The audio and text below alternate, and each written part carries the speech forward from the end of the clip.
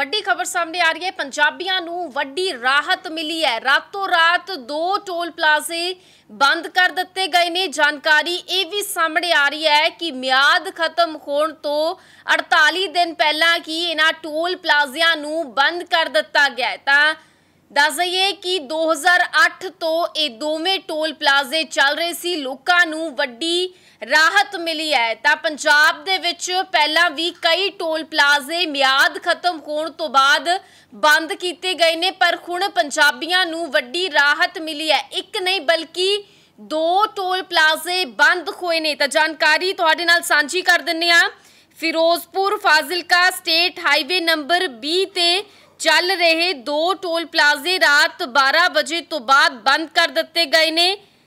Toll ਪਲਾਜ਼ਿਆਂ ਦੀ ਮਿਆਦ ਖਤਮ ਹੋਣ ਤੋਂ 48 ਦਿਨ ਪਹਿਲਾਂ ਹੀ ਇਹ ਟੋਲ ਜਿਹੜੇ ਨੇ ਉਹ ਬੰਦ ਕਰ ਦਿੱਤੇ ਗਏ ਨੇ। ਤਾਂ ਜਾਣਕਾਰੀ ਸਾਹਮਣੇ ਆ ਰਹੀ ਹੈ। ਦੱਸ ਦਈਏ ਕਿ 2008 ਤੋਂ ਇਹ ਟੋਲ ਪਲਾਜ਼ੇ ਚੱਲ ਰਹੇ ਸਨ।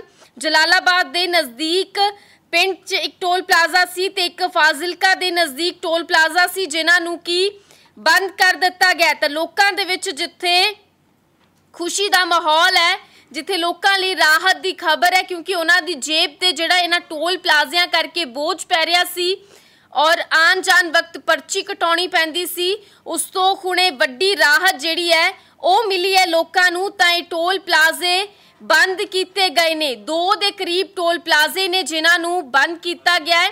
2008 ਦੇ ਵਿੱਚ ਇਹ ਟੋਲ ਪਲਾਜ਼ੇ ਲਗਾਏ ਗਏ ਸੀ। ਇਹਨਾਂ ਦਾ ਕੰਟਰੈਕਟ ਸੀ। ਮਿਆਦ ਖਤਮ ਹੋਣ ਤੋਂ 48 ਦਿਨ ਪਹਿਲਾਂ ਹੀ ਇਹਨਾਂ ਟੋਲ ਪਲਾਜ਼ਿਆਂ ਨੂੰ ਬੰਦ ਕਰ ਦਿੱਤਾ ਗਿਆ। ਤਾਂ ਮੇਰੇ ਸਹਿਯੋਗੀ ਅਰਵਿੰਦਰ ਤਨੇਜਾ ਵੀ ਨਾਲ ਜੁੜੇ ਨੇ। ਉਹਨਾਂ ਦੇ ਕੋਲੋਂ ਵੀ ਜਾਣਾਂਗੇ ਕਿ ਕਿਉਂਕਿ ਟੋਲ ਪਲਾਜ਼ੇ ਲੋਕਾਂ ਦੀ ਜੇਬ ਤੇ ਕਾਫੀ ਬੋਝ ਪਾ ਰਹੇ ਸੀ। ਔਰ ਆਨ ਜਾਣ ਵਕਤ ਲੋਕਾਂ ਨੂੰ ਪਰਚੀ ਕਟਾਉਣੀ ਪੈਂਦੀ ਸੀ, ਤਾਂ ਇਸ ਦੌਰਾਨ ਇਹਨਾਂ ਹੁਣ ਟੋਲ ਪਲਾਜ਼ਿਆਂ ਨੂੰ ਬੰਦ ਕਰਕੇ ਲੋਕਾਂ ਨੂੰ ਇਹ ਵੱਡੀ ਰਾਹਤ ਦਿੱਤੀ ਗਈ ਹੈ। ਤਾਂ ਦੱਸ ਦਈਏ ਕਿ ਇਹ ਟੋਲ ਪਲਾਜ਼ੇ ਬੰਦ ਹੋਏ ਨੇ। ਮਿਆਦ ਖਤਮ ਹੋਣ ਤੋਂ 48 ਦਿਨ ਪਹਿਲਾਂ ਹੀ ਇਹਨਾਂ ਟੋਲ ਪਲਾਜ਼ਿਆਂ ਨੂੰ ਬੰਦ ਕਰ ਦਿੱਤਾ ਗਿਆ। ਤਾਂ ਮੇਰੇ ਸਹਿਯੋਗੀ ਅਰਵਿੰਦਰ ਤਨੇਜਾ ਮੇਰੇ ਨਾਲ ਜੁੜੇ ਨੇ। ਅਰਵਿੰਦਰ, ਜਿਸ ਤਰੀਕੇ ਦੇ ਨਾਲ ਇਹ ਟੋਲ ਪਲਾਜ਼ੇ ਬੰਦ ਕੀਤੇ ਗਏ ਨੇ ਤਾਂ ਕਿਹੜੇ-ਕਿਹੜੇ ਇਲਾਕੇ ਦੇ ਲੋਕਾਂ ਨੂੰ ਇਸ ਨਾਲ ਵੱਡੀ ਰਾਹਤ ਮਿਲੀ ਹੈ ਜੀ ਬਿਲਕੁਲ ਰਾਹਤ ਦੀ ਜੇਕਰ ਗੱਲ ਕੀਤੀ ਜਾਵੇ ਤਾਂ ਫਾਜ਼ਿਲਕਾ ਤੋਂ ਫਿਰੋਜ਼ਪੁਰ ਤੱਕ ਜੋ ਸਟੇਟ ਹਾਈਵੇ ਨੰਬਰ 20 ਹੈ ਉਸ। ਦੇ ਉੱਤੇ ਇਹ 2008 ਤੋਂ ਟੋਲ ਪਲਾਜ਼ੇ ਚੱਲ ਰਹੇ ਸੀ ਜਿਨ੍ਹਾਂ ਨੂੰ ਚੇਤਕ ਇੰਟਰਪ੍ਰਾਈਜ਼ਸ ਦੇ ਵੱਲੋਂ ਜਿਹੜਾ ਕਿ ਰਨ ਕੀਤਾ ਜਾ ਰਿਹਾ ਸੀ ਦੱਸ ਦਈਏ ਕਿ ਇੱਥੇ ਜਿਹੜਾ ਕਾਰ ਹੈ ਉਸ ਤੋਂ ਇੱਕ ਸਾਈਡ ਤੇ 53 ਰੁਪਏ ਜਦ ਕਿ ਜਿਹੜੇ ਟਰੱਕ ਆ ਉਹਨਾਂ ਤੋਂ 250 ਰੁਪਏ ਦੇ ਕਰੀਬ ਜਿਹੜਾ ਕਿ ਵਸੂਲਿਆ ਜਾ ਰਿਹਾ ਸੀ। ਜੋ ਕਿ ਬੀਤੀ ਰਾਤ 23 ਤਰੀਕ ਨੂੰ ਜਿਹੜਾ ਮਾਫ ਕਰਨਾ 13 ਤਰੀਕ ਦੀ ਰਾਤ ਨੂੰ 12 ਵਜੇ ਤੋਂ ਬੰਦ ਕਰ ਦਿੱਤੇ ਗਏ ਆ। ਦੱਸਦੀ ਕਿ 48 ਦਿਨ ਪਹਿਲੇ ਹੀ ਆਪਣੀ ਮਿਆਦ ਤੋਂ 48 ਦਿਨ ਪਹਿਲੇ ਇਹਨਾਂ ਨੂੰ ਬੰਦ ਕਰ ਦਿੱਤਾ ਗਿਆ ਹੈ।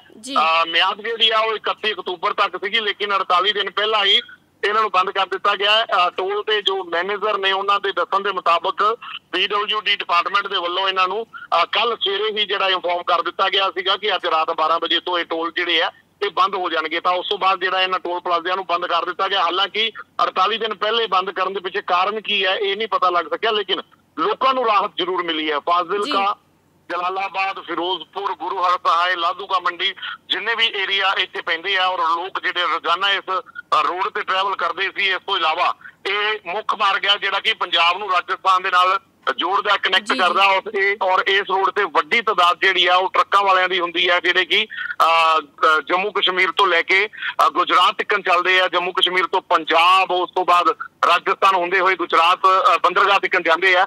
ਤਾਂ। ਉਹਨਾਂ ਨੂੰ ਵੀ ਇੱਕ ਵੱਡੀ ਰਾਹਤ ਮਿਲੀ ਤਾਂ ਇੱਕ ਸਾਈਡ ਦਾ 800 ਰੁਪਏ ਦੇ ਕਰੀਬ ਜਿਹੜਾ ਕੀ ਹੈ ਉਹਨਾਂ ਕੋਲ ਅਪ ਡਾਊਨ ਦਾ ਜਿਹੜਾ ਕੀ ਹੈ ਚਾਰਜ ਲਿੱਤਾ ਜਾਂਦਾ ਸੀ। ਉਹਨਾਂ ਨੂੰ ਇੱਕ ਵੱਡੀ ਰਾਹਤ ਮਿਲੀ ਹੈ ਆਮ ਲੋਕਾਂ ਨੂੰ ਵੀ ਰਾਹਤ ਮਿਲੀ ਹੈ ਸਭ ਦੇ ਵਿਚਾਲੇ। ਖਬਰਾਂ ਇਹ ਵੀ ਸੁਣਨ ਨੂੰ ਮਿਲ ਰਹੀਆਂ ਕਿ ਸ਼ਾਇਦ ਜਲਦ ਹੀ ਇਸ ਰੋਡ ਨੂੰ ਜਿਹੜਾ ਹੁਣ 4 ਲਾਈਨ ਕੀਤਾ ਜਾਏਗਾ। 4 ਲਾਈਨ ਕਰਨ ਤੇ ਬਾਅਦ ਕੀ ਟੋਲ ਲੱਗੇਗਾ ਜਾਂ ਨਹੀਂ ਕੀ ਇਸ ਰੋਡ ਨੂੰ ਨੈਸ਼ਨਲ ਹਾਈਵੇ ਦੇ ਵਿੱਚ ਕਨਵਰਟ ਕੀਤਾ ਜਾਂਦਾ ਕਿਉਂਕਿ ਹੁਣ ਤੱਕ ਇਹ ਸਟੇਟ ਹਾਈਵੇ ਹੈ। ਜੀ, ਤਾਂ, ਇਹ ਭਵਿੱਖ ਦੇ ਗਰਭ ਵਿੱਚ ਹੈ ਇਸ ਲਈ ਸਾਨੂੰ ਇੰਤਜ਼ਾਰ ਕਰਨਾ ਪਏਗਾ। ਲੇਕਿਨ ਫੌਰੀ ਤੌਰ ਤੇ ਅੱਜ ਤੋਂ ਪੰਜਾਬ ਦੇ ਦੋ ਹੋਰ ਟੋਲ ਪਲਾਜ਼ੇ ਜਿਹੜੇ ਆ ਉਹ ਬੰਦ ਹੋ ਗਏ ਆ ਲੋਕਾਂ ਜੀ, ਜੀ, ਨੂੰ ਜੀ। ਇੱਕ ਵੱਡੀ ਰਾਹਤ ਜਿਹੜੀ ਆ ਜ਼ਰੂਰ ਮਿਲੀ ਹੈ ਜੀ ਬਹੁ- ਜੀ ਬਹੁਤ ਬਹੁਤ ਧੰਨਵਾਦ ਤੁਹਾਡਾ ਅਰਵਿੰਦਰ तमाम ਜਾਣਕਾਰੀ ਸਾਂਝੀ ਕਰਨ ਦੇ ਲਈ ਤਾਂ ਅਜਿਹੇ ਟੋਲ ਪਲਾਜ਼ੇ ਜਿਹੜੇ ਪੰਜਾਬ ਨੂੰ ਰਾਜਸਥਾਨ ਦੇ ਨਾਲ ਜੋੜਦੇ ਨੇ ਜਿੱਥੇ ਟਰੱਕਾਂ ਦੀ ਜ਼ਿਆਦਾ ਆਮਦ ਰਹਿੰਦੀ ਹੈ ਤਾਂ ਉਸ ਦੋ ਟੋਲ ਪਲਾਜ਼ਿਆਂ ਨੂੰ ਬੰਦ ਕਰ ਦਿੱਤਾ ਗਿਆ ਹੈ ਕਿਉਂਕਿ ਜਦੋਂ ਅ, ਜੰਮੂ ਦੇ ਵੱਲ ਟਰੱਕ ਜਾਂਦੇ ਸੀ ਜਾਂ ਰਾਜਸਥਾਨ ਤੋਂ ਟਰੱਕ ਪੰਜਾਬ ਨੂੰ ਆਉਂਦੇ ਸੀ ਤਾਂ 800 ਰੁਪਿਆ ਆਉਣ ਜਾਣ ਉਹਨਾਂ ਦੀ ਜੇਬ ਦੇ ਵਿੱਚੋਂ ਜਾਂਦਾ ਸੀ ਪਰ ਹੁਣ ਉਹਨਾਂ ਦੀ ਜੇਬ ਤੇ ਪਿਆ ਹੋਇਆ ਇਹ ਭਾਰ ਘਟ ਗਿਆ ਹੈ। ਦੋ ਟੋਲ ਪਲਾਜ਼ੇ ਜਿਹੜੇ ਬੰਦ ਕਰ ਦਿੱਤੇ ਗਏ ਨੇ। ਲੋਕਾਂ ਦੇ ਵਿੱਚ ਵੀ ਰਾਹਤ ਦੀ ਅ, ਜਿਹੜੀ ਲਹਿਰ ਪਾਈ ਜਾ ਰਹੀ ਹੈ। ਲੋਕ ਵੀ ਖੁਸ਼ ਨੇ ਕਿਉਂਕਿ ਜੇਬਾਂ ਦੇ ਉੱਤੇ ਲਗਾਤਾਰ ਇਹਨਾਂ ਟੋਲ ਪਲਾਜ਼ਿਆਂ ਦਾ ਬੋਝ ਪੈ ਰਿਹਾ ਸੀ। ਤਾਂ ਦੋ ਟੋਲ ਪਲਾਜ਼ੇ ਜਿਹੜੇ ਪੰਜਾਬ ਨੂੰ